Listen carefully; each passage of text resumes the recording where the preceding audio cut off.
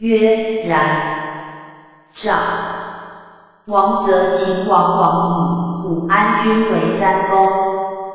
武安君所为秦战胜攻取者七十余城，南定燕、以汉中、北秦赵括之军，虽州、赵、吕、望之功不异于此矣。今赵王、秦王亡，则武安君必为三公，君能。为之下乎？虽无欲为之下，故不得已。秦长公韩为行丘，困上党，上党之民皆反为赵，天下不乐为秦民之日久。今王赵北的入燕，东的入齐，南的入韩，魏，则君之所得名王。几何人？故不如因而歌之，吾以为武安君功也。于是以侯言于秦王曰：“秦兵劳，请许韩、赵之歌地以和，且修士卒。”王听之，歌韩元雍、赵六臣以和。正月，皆罢兵。武安君。闻之，由是与应侯有信。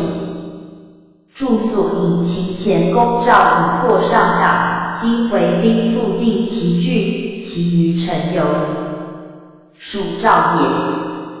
助正义故臣在绛州龙门县西。助正义太原，赵地，秦定取也。助正义焉在襄州郡道县南九里。隐在荆州江陵县东六里，汉中今凉州之地。筑集解徐广曰：平高有行丘，正义行丘，今怀州府。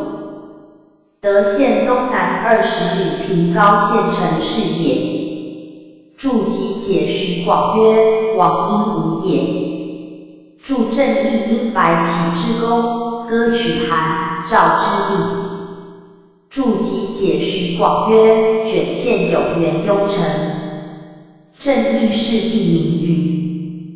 卷县所立元雍城，按今在郑州元武县西北七里也。批至一千四百七十九。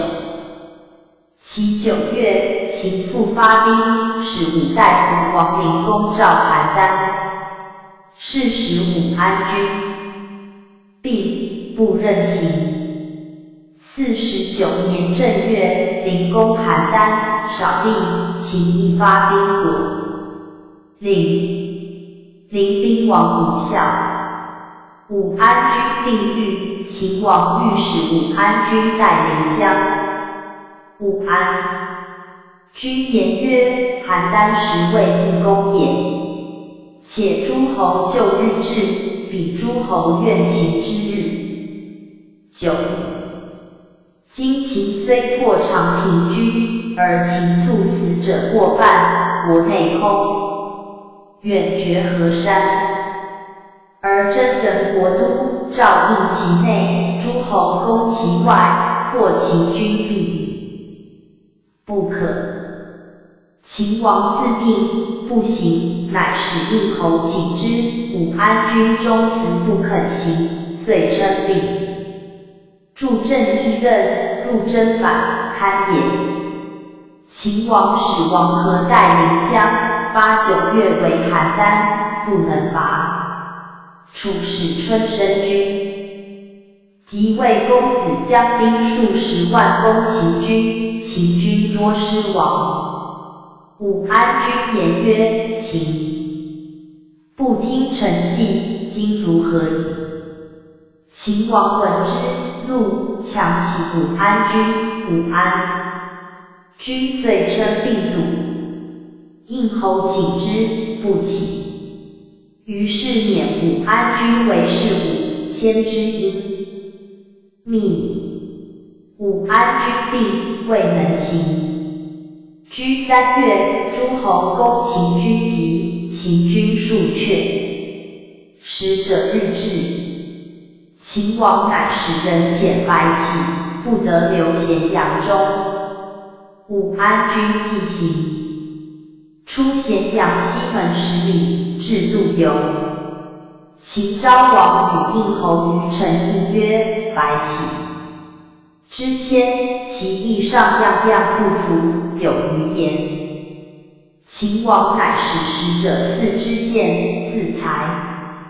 武安君以剑将自己，曰：“我何罪于天而至此哉？”良久，曰：“我不当死。”长平之战，赵肃将者数十万人，我诈而尽坑之，士卒已死，遂自杀。